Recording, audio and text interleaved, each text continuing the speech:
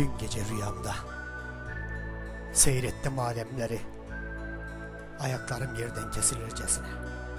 Masmavi gökyüzünde uçuyordum. Acayip karmaşık bir yerdeydim. Bir ara seni görür gibi oldum. O an gözümden kayboluverdin. İçimde tuhaf bir his var. Dereler, ırmaklar çağlıyordu. Güneş sanki bir bana aydınlık saçıyordu. Hafif bir rüzgar göğsüme narin narin çarpıyordu. Kendimi kuş kadar hafif hissediyordum. Beyaz bir gömlek vardı üzerimde.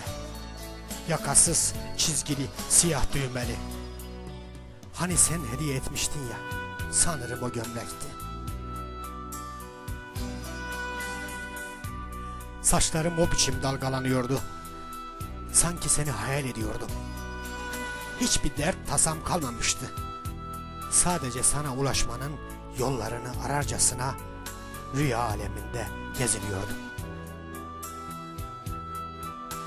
Sonra hafif bir ses duydum. İlkindim, tik sıçradım. Bir kere uyanmıştım. Kafamı geri yastığa koydum. Uyumaya çalıştım ama bir türlü uyku tutmadı. O an anladım ki her şey yalanmış.